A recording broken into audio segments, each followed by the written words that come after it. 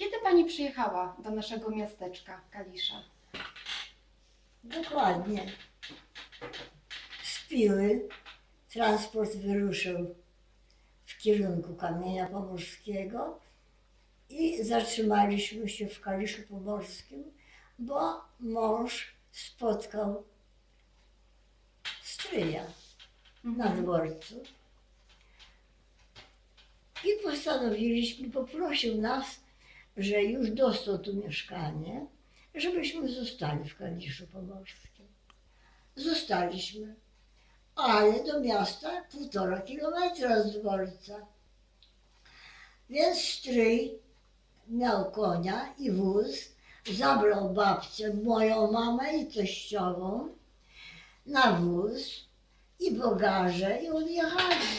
A ja w jednej ręce miałam dokumenty z teczką, a mąż synka na ręku, który miał 11 miesięcy, jedynak, Mhm. Ryszard, tak? Ryszard. Mhm. I tak po kolei, jakie budynki za, zapo- zapamiętałam, to najpierw była poczta po prawej stronie.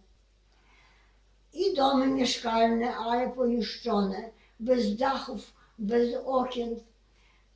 Obraz po wojnie bardzo smutny. Takim ważnym zdarzeniem też było to, że trafiła Pani do inspe- y, inspektora szkolnego, tak? Drawsko-Pomorskim. Tak, Jak to się stało? Kiedy y, wiedziałam, że Drawsko-Pomorski jest powiatem, wiedziałam, że inspektorat musi być.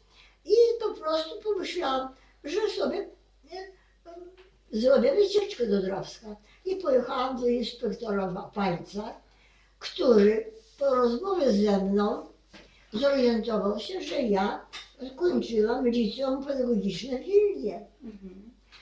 i zaproponował Kalisz Pomorski. Więc zgodziłam się bardzo chętnie i z tym skierowaniem zgłosiłam się u, dy- u dyrektora szkoły. Kiedy przyszłam e, do dyrektora, przyjął mnie bardzo grzecznie, zapytał o jakie, jakie przedmioty najbardziej lubię prowadzić. Więc przede wszystkim język polski, historię, biologię, i to wszystko objęłam. Kiedy pierwszy raz weszłam w szkole do pokoju nauczycielskiego, poznałam już pierwszych nauczycieli. Była pani Irena Sztabnik, była pana Ma- Mania Petrykowska, jakaś anglistka, taka młoda dziewczyna, która była bardzo krótko, Mhm. parę miesięcy, potem zrezygnowała. No i była e, rodzina Bejów, Bej Andrzej i Bej Aniela, małżeństwo, państwo Bejowie. Potem pan Włodzimierz Sekała i- i następnie pani Jacyna Zofia, historię. A ja prowadziłam język polski. Mhm. A warunki w szkole jakie były wówczas? Warunki w szkole były bardzo trudne pierwsze. Przede wszystkim nie było potrzebnych przedmiotów. Ławki sprowadzaliśmy z wiejskich szkół, z Dębska, ze Starej Korytnicy, z Suchowa. Mhm. Prosiliśmy e, rodziców, którzy przywozili te ławki. Także trzeba było e, zacząć naukę no, normalnie, co było niezwykle trudne.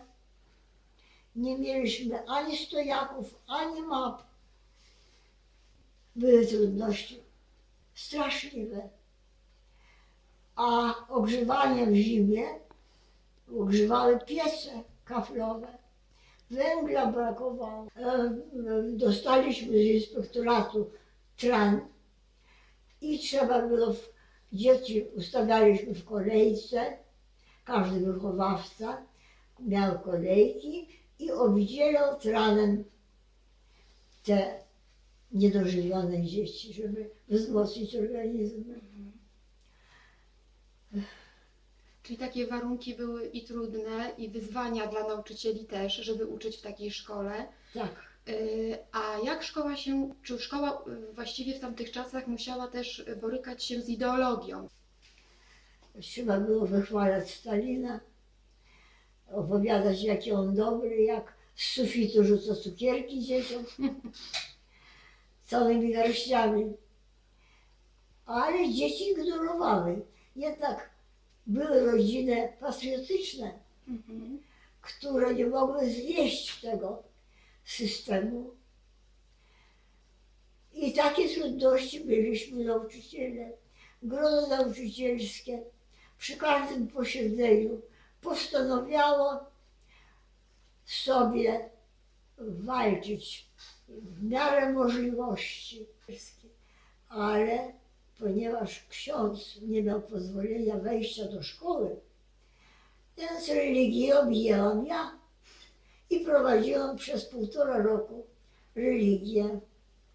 Tym bardziej, że mieliśmy e, orła białego w każdej klasie, a przed tym był, wisiał obraz Stalina. Też dosyć takie dziwne połączenie, że pani uczyła i języka rosyjskiego, i religii, prawda? Właśnie starsi uczniowie mnie nieraz zapytali, Mhm. jak to, jak to można połączyć i religię, i język polski. Powiedziałam, że wszystko jest w swoim zakresie. Mhm. Pani Helenko, a ile lat pani pracowała w szkole w Kaliszu Pomorskim? No, ja zaczęłam już od czerwca, maj, czerwiec 1946. Mhm. I potem już miałam czwórkę własnych dzieci i zdrowie nadwyrężone. W 52 roku odeszłam. Mhm. Czyli troje dzieci, a najmłodszy miał się pojawić, tak? Tak. I w 52 pani... Tak, w ciąży byłam. Mhm. Tak, w pi- 52 roku urodził się synek najmłodszy. Mhm. Czyli sporo lat pani w szkole pracowała. Pracowałam z wielką radością, bo kocham tak bardzo dzieci.